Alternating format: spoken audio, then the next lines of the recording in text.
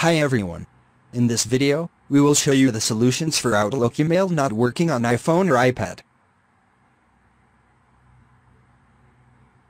First solution is refresh airplane mode. To do that first open the settings app on your iPhone. Here turn on airplane mode. Wait for few seconds, and then turn off airplane mode. Make sure that your iPhone is connected to the internet. After that force close apps, and then check whether Outlook email is working or not. Second solution is select no limit for mail days to sync. First open the settings app on your iPhone. Then scroll down to mail, and tap it. After that tap accounts. Here tap Outlook. Then tap mail days to sync. Here select no limit for mail days to sync. Third solution is set date and time to automatic. First launch settings app on your iPhone. Here tap general. Tap date and time. After that turn on set automatically. And check whether Outlook email is working or not. Fourth solution is remove email and set up again. First, launch settings app on your iPhone. Then scroll down to mail and tap it.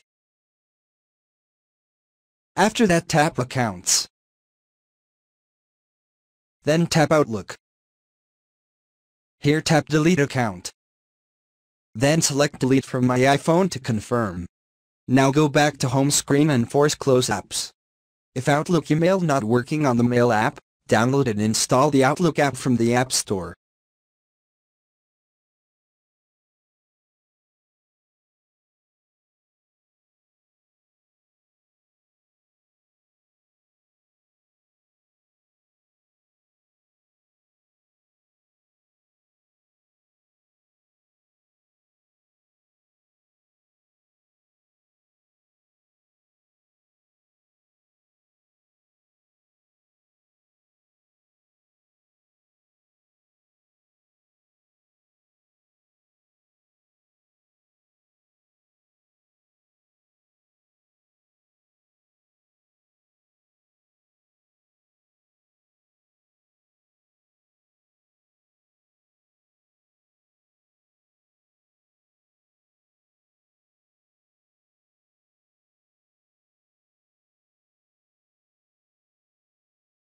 And then check whether it is working or not you are already using the Outlook app.